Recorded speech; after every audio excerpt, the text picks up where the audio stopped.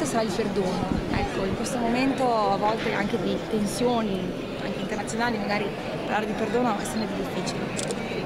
Beh, io non parlerò di questioni internazionali o di politica, cercherò di, di, di, vedere, di spiegare come, come, come, vedo il problema del perdono nel, nel, nel, Vangelo e in San Francesco, in termini molto generali.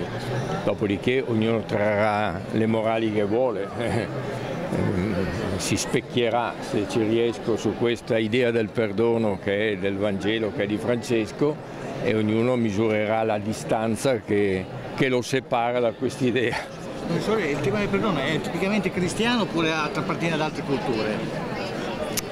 No, eh, anche, nel, anche, nel, primo patto, anche nell'Antico Testamento questo tema è importante, però certo nel Vangelo assume un, un timbro straordinario e, e mai realizzato.